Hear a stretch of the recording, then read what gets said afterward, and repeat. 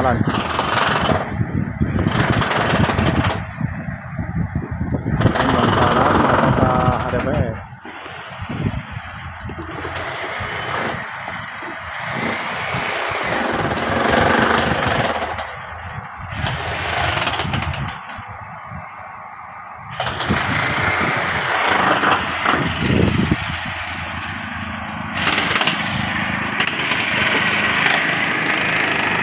lagi normalisasi.